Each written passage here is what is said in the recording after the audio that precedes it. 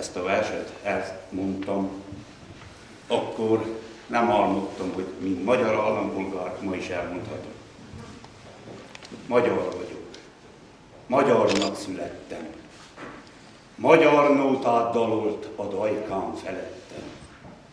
Magyarul tanított imádkozni anyám, és szeretni téged, gyönyörű szép hazám.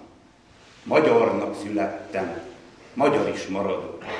A hazáért élek, ha kell, meg is halok. Ringó bölcsőfáját magyar föld termette, koporson fáját is magyar föld növesse. Felkérjük dr. Henda Csaba, honvédelmi miniszter urat, legyen szíves, jöjjön és vegye át a szerény ajándékunkat. Vigyázz!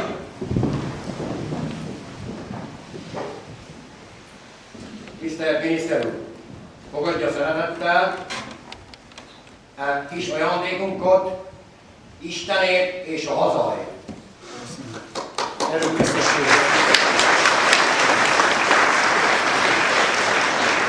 Van egy kedves régi katonanóta, ami úgy szól, hogy átmegyek a királyhágón, elveszett a huszárcsán.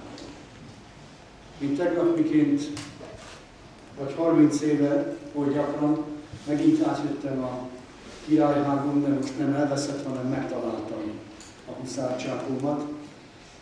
Nagyon szép ez a mai nap, higgyék el, nem csak önöknek, higgyétek el, bajtársak, nem csak nektek, hanem nekünk is, akik részesei lehetünk ennek a csodálatos pillanatnak, amikor ti, akik hűségesen megőriztétek magyarságotokat, ragaszkodtatok a legnehezebb időkben is ahhoz, hogy az Isten magyarnak teremtett, székely magyarnak, most végre jogi kötelékben is egyesülhettek velünk, akik eleve magyar állampolgárnak születtünk.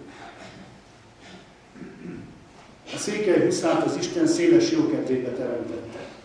Nagy dolog az székely huszának lenni, mert hát oly sok nemzedék, oly sok atyánk és nagyatyánk viselte ezt az egyenruhát, és küzdött, és vérét ontotta ezért a hazáért. Én csak annyit ígérhetek, mert hogy ti is esküdtetetek, na hát hadd tegyek én is egy fogadalmat, hogy igyekszem, nagyon igyekszem majd, hogy méltó legyek a székely huszár nevezetre. Isten áldása legyen minnyájunkon, a hazáért, mint halálig. Megkérjük dr. Zsigmond Barnapál, főkonzul urat, a Magyar Köztársaság képviselőjét. Fogadja szeretettel, a csekély ajándékunkat, és viselje egészséggel Istenért és a hazáért. Tisztelt kapitány úr és tisztelt elnök úr, köszönöm szépen ezt a bizalmat, szintén örvendek is, alig megvettek ezzel az ajándékkal. Ahogy a plébános úr mondta, az úr feladatot rendelt mindenkinek, nekem azt a feladatot rendelte, hogy a legnagyobb forgalmú magyar külképviseletet a Csiszolai főkonzulátus vezessen. Köszönöm a Istennek, hogy ezt én megérhettem, és a miniszter is mondta a főkonzulátuson, nem csak mi adunk, hanem mi is kapunk. Köszönöm Uzson Gáspár barátomnak, hogy megszervezte ezt az eseményt. Amikor először megkeresett bennünket, akkor kollégáimmal együtt, és köszönöm kollégáimnak is eljött az áldozatos munkát.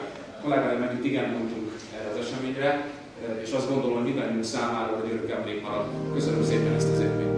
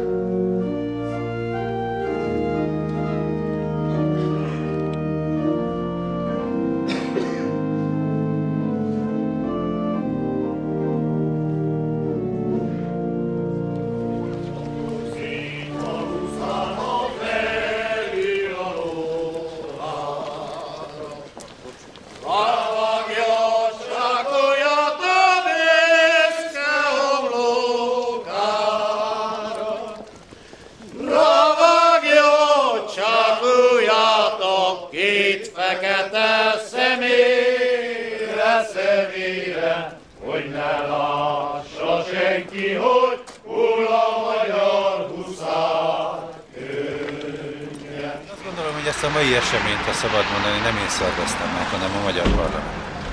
Elfogadta a törvényt, amivel semmi más nem történt, mint természetessé vált az, ami hétköznapi valóságunkban, életünkben eddig is egyértelmű volt. Az, hogy az itt élő huszár bajtársaknak a lelkét folyamatosan ébren tartottam, hogy minél előbb adják be az állampolgársági esküt, ha lehet egyszerre, az, azt gondolom, hogy egy, ez egy természetes gondolat. Ezért huszártiszt a huszártiszt, hogy ilyen ötletei legyenek. És a huszár bajtársaknak egy megkötésük volt, hogy családostól tehessük az esküt. És ugye ezáltal ez a 97 fős létszám okozott egy kis szervezési problémát. Az én ö, ö, szervező munkám, ami igazából három-négy telefonból állt, bevallom férfiasan, arra irányult, hogy ne legyen probléma a magyar államigazgatás számára a határidők megtartása, hogy 97 ember egyszerre állampolgársági esküt teljesen Csíkszeredába. Azt én se tudtam elérni, hogy itt Szentegyházán a templomban legyen az állampolgársági eskütétel. Külügyminisztérium ehhez nem járult hozzá. És azt gondolom, hogy az, hogy Hende Csaba honvédelmi miniszter úr személyesen eljött, az, az az ő személyi nagyságát jelöli, hogy nem megijedt egy ilyen, valljuk be néha külpolitikai, diplomáciai szempontból lehet, hogy kényes kérdésben sokan, mert hogy sokan mögé gondolhatnak bármit, de mégis nagyon jó dolog, hogy a 11-es székely, határőr, hagyományőr, huszárok itt Szentegyházán a Magyar, Magyarország honvédelmi miniszter előtt elték az állampolgársági Minden jót és szépet kívánunk Romániának, annak a Romániának, amely mind az Európai Unióban, mind a NATO-ban szövetséges. Nem úgy, mint valamikor a Varsói Szerződés idején volt, mert az kényszer szövetség volt. Nem úgy, mint a szocialista közösség tagjaként, mert az bizony egy kívülről ránk erőszakolt együttműködés volt. Ami azonban fontos, hogy most a helyesen felismert közös stratégiai érdekek alapján, közös célokért küzd mindkét ország, úgy az Európai Unió, mint a NATO keretei között. Amikor tehát minden jót és szépet kívánunk Romániának, akkor értelemszerűen minél több jót és jogot kívánunk a Romániában élő magyar közösségnek is. Ez a közösség magától értetődően része az egész magyar nemzetnek, boldogulása mindannyiunk alapvető érdeke, és közös érdekünk ez Romániával, sőt egész Európával együtt. Nagy öröm a számunkra, hogy egyre inkább javulnak kapcsolataink Romániával és a román nemzettel. Nagy utat jártunk be a mai állampolgári eskütételig, és bizony még nagy után De elindultunk és haladunk ezen az úton. Ne felejtjük azt sem, hogy a kettős állampolgárság mostani formáját is egyebek mellett éppen román minták alapján dolgoztuk ki. Azt kívánom mindannyiunknak, hogy fogadjuk meg és váltsuk életre Gróf Széchenyi István internet. Egynek minden nehéz, soknak semmi sem lehetetlen. Bajtársaim, én számítok rátok, és ti számíthatok rá. Köszönöm szívesen!